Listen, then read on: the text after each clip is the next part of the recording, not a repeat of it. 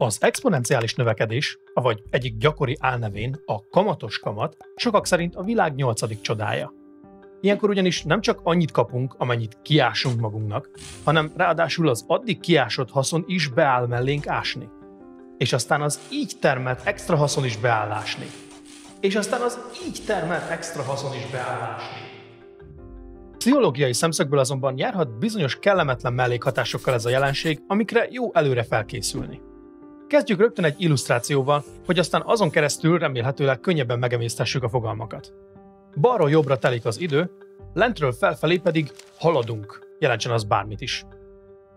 Ennek fényében az exponenciális változásra érdemes úgy gondolni, hogy nem csak haladunk, de a tetejébe idővel egyre gyorsabban haladunk. Tesszük ezt szemben a lineáris változással, ahol szintén haladnánk ugyan, de mindig ugyanolyan tempóban.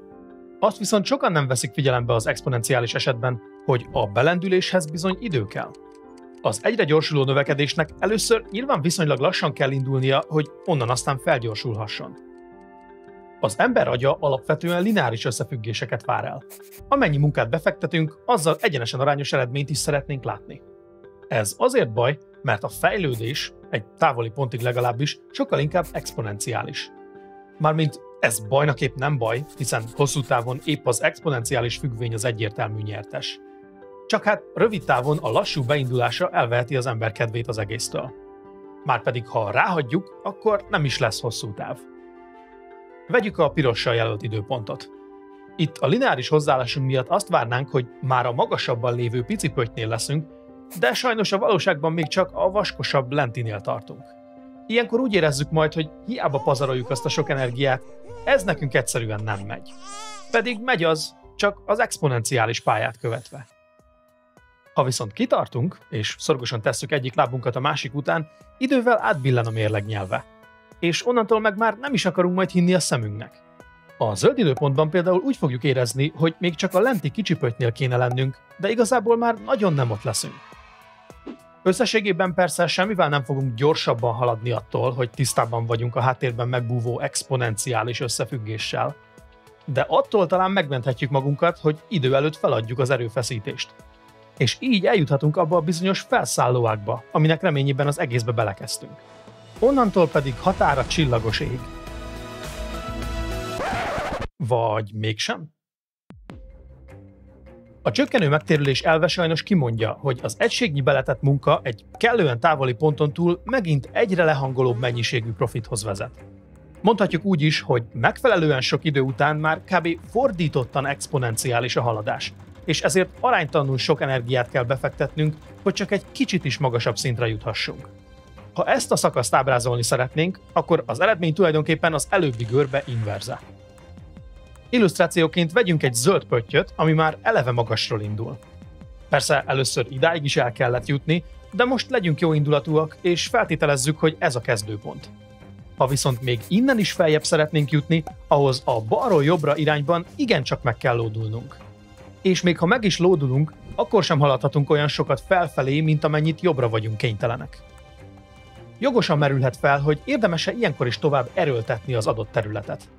És persze az olimpikonoknak, a sok nagymestereknek és a Guinness rekordtartóknak még ilyen feltételek mellett is megéri az üzlet. De nekünk többieknek érdemes elgondolkodni. Itt jön képbe a generalista szemlélet, ami szerint ilyenkor inkább vágjunk valami újba, ahol majd újra látványos haladásokat érhetünk el, míg az eredeti területet elég lesz csak szinten tartani. Ha az összesített tudásmennyiségünk maximalizálása a cél, akkor legyünk inkább kompetensek 10 dologban, mint vérprofik egyben, és teljesen bénák a maradék 9-ben. És ne aggódjunk, van bőven elég ismeret a világon, hogy jó pár emberöltőt is eltölthetnénk unatkozás nélkül.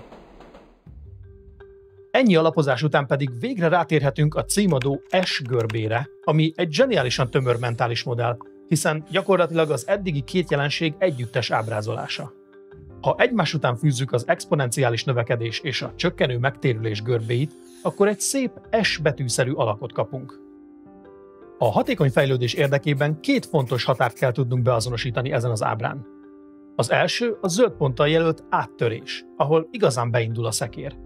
Ezt persze könnyű észrevenni, ha már ott tart az ember, de annál nehezebb előre hinni benne, amikor még nem tartunk ott. és nem is nagyon látjuk, hogy hogyan tarthatnánk valaha ott. Ehhez adhat plusz motivációt az exponenciális fázis ismerete. Amíg az áttörésig el nem jutunk, addig csak kus és lapátolj tovább. Vagyis mindenbe tegyük bele az energiát az elején, és, ami szinte még fontosabb, tartsunk ki odáig, ahol már majd igazi eredményeket láthatunk cserébe. Viszont tudjuk megítélni azt is, hogy mikor merítettük ki a terület lehetőségeit. Ezt jelöli a piros pont. Nyilván lehetnek kivételek, de sokunknak innentől hatékonyabb lesz a hajszálnyi extra fejlődés helyett valami más után nézni. És természetesen ne feledjük, hogy ha valami más után nézzünk, akkor ott újraindul az esgörbe. Attól, hogy egy hegyet már megmásztunk, attól a következő hegynél továbbra is lentről indul az expedíció. A lényeg, hogy a való életben soha ne számítsunk lineáris haladásra.